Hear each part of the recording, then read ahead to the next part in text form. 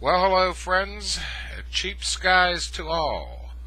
I'm going to do a brief uh, assembly video of the Celestron PowerSeeker 70AZ. Uh, this is the Walmart model that you're looking at here in the uh, video. Uh, and if you're going to buy one, I would suggest you get it from Walmart.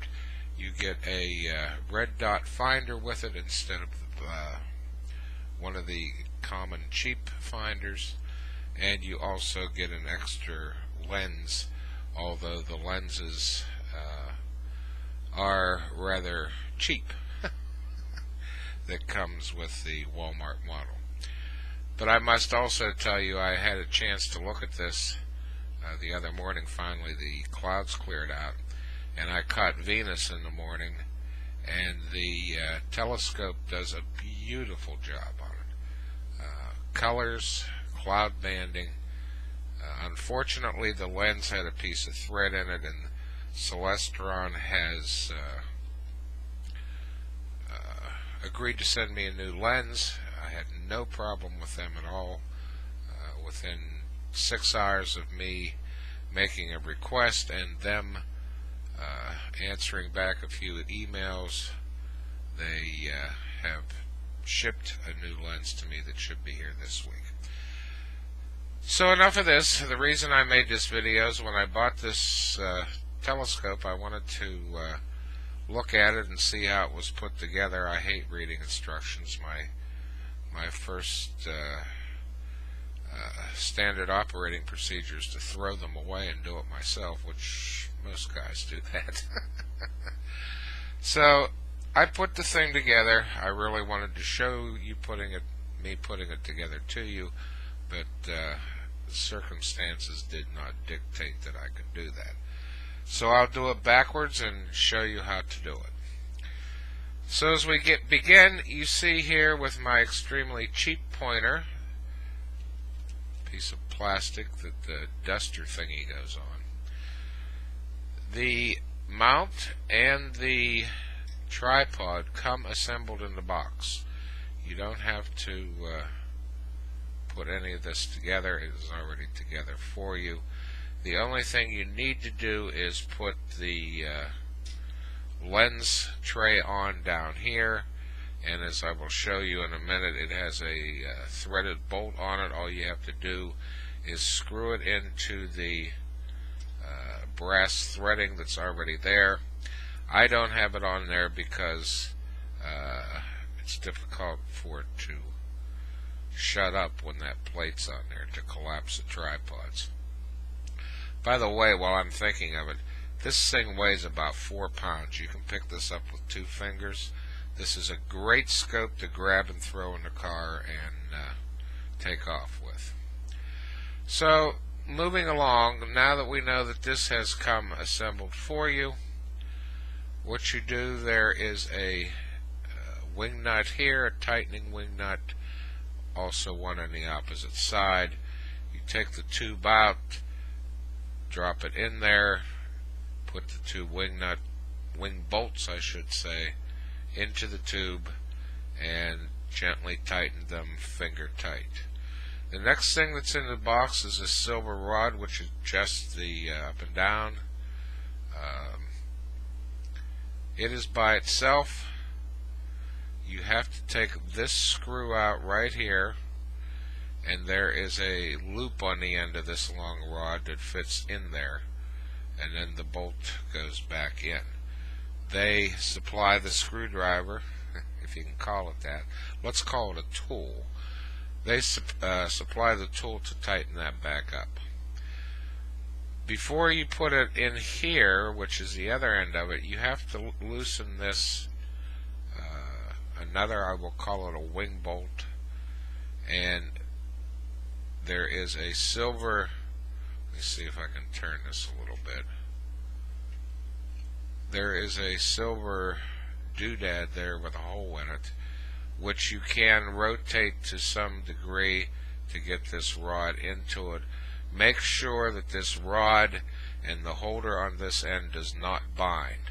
It should slide freely through the uh, the uh, rod holder there. Then again, tighten this uh, just finger tight that it can slide a little bit. This one you want to tighten down real good. The next thing that comes with a red dot finder, as I mentioned before, that is up here. There are two. Let me see if I, I think I'm up against the wall here. I don't think it'll turn anymore. Oh, yes, it will. There are two bolts sticking up from the tube with these uh, little nuts on the top of them. You simply stick the finder down over the bolts, tighten up the two. You can't see the other one, but there's a silver one over here too.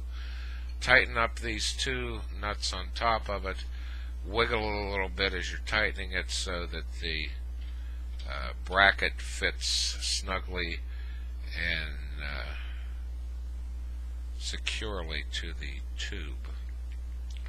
The last thing you have to put in is the diagonal here at the end. It's just a matter of loosening these little thumb screws here and sticking it into the focusing tube.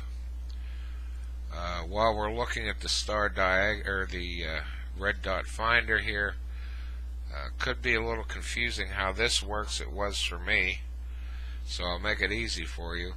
Up here under this big round ring, you're going to find a plastic uh, tab sticking out. Uh, you just pull that out. That allows the battery in it to work. I haven't looked at the battery, but I assume it's one of those little flat uh, watch batteries that you get at Radio Shack or Kmart or any place else. This knob here is the on-off switch. It's it has a little white marking on there and the part down here and it also clicks on and off so you can actually hear when it's on and off. Where I was confused was how you uh, adjusted the sight. I could find the one adjustment. I believe this is the left to right, but I couldn't find the other one, and it was probably because it was right in front of my eyes. It's down under the bottom here. So you have two adjustments, one down there, one up here, and you can see by turning them, one will move them right, left, one will move up, down. Now, the way to use this is to during either the morning or evening, right when it's getting dark or light, the way I did it was to find a street light in the telescope and center the street light in the in the uh, eyepiece here. And then I just simply cranked the two adjustments on this so the little red dot that shows up on there was in the center of the street light.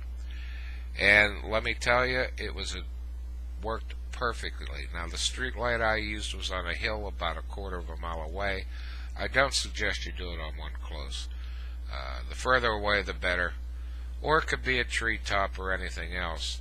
Uh, the key is to do it at uh, either early morning when it's just getting light or just getting dark, because this red light um, could be dimmed by the light. So anyhow, to make a long story short, once I got this focused in with this, and they were both in alignment, uh, Venus was rising the other morning. I put the dot right on Venus, and I looked into the eyepiece, and it was absolutely perfectly centered on Venus. So, another reason you should get the Walmart model is this little puppy right here. And that about uh, ends up how you put it together. So I swing it back around here. This uh, little knob here, which you can see I have real loose since I'm swinging this around, tightens the left-right motion. Uh, this rod, which you can tighten here, the up and down, and there is a, if you let this just snug and not tight, this little knob here is a slow motion knob to adjust the height of the uh, telescope. Few lens covers were uh, enclosed with it. I have one on there, the big one on the end, and uh, just to show you a few things here before I end up the video. This is the uh, lens cover plate. You see the bolt there on the end. This turns up this way and the bolt I don't know if you can see it there. Yeah, there it is. The bolt just goes over here and goes down in there and screws into that little brass fitting that I told you about right there. Uh, the three eyepieces come looking like this in a nice little plastic thingy, inch and a quarter. There's also a three times Barlow lens included with the uh, package. As you can see here, I haven't even taken this one out yet. And it would just go into your scope here and then your other lens would go on top of it. Uh, for my scope I have purchased a uh, Zhumell 8 UHC filter which is here. This is to control the light uh, interference that I have. Oh, there's the camera. Hello, camera.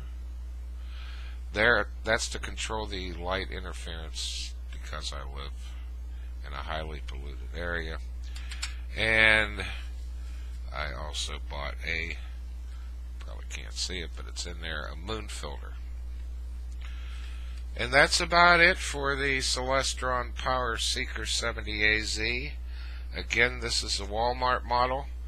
Uh, I intend to buy a couple good eyepieces for it. I think it's a tremendous value for the money. Uh, you're not going to see uh, God with this thing, but uh, you might see a few angels out there. Again, the pluses to this are it is extremely easy to uh, aim the telescope with that red dot finder, and it weighs almost nothing. A child could carry this thing without uh, any effort whatsoever. Uh, finally, let me reach over here see if I can make a disaster. I have taken an old Logitech webcam, which is here, Mr. Eyeball, and uh, I have already tested this out on my uh, uh, Meade reflector telescope. This will be attached to the one you're looking at here to take pictures with it. Um, I'll upload some videos later and let you know how that goes. But uh, we're just in the beginning stages here, folks. Astronomy on the cheap. It doesn't get any cheaper than me. Enjoy your day. We'll see you the next time.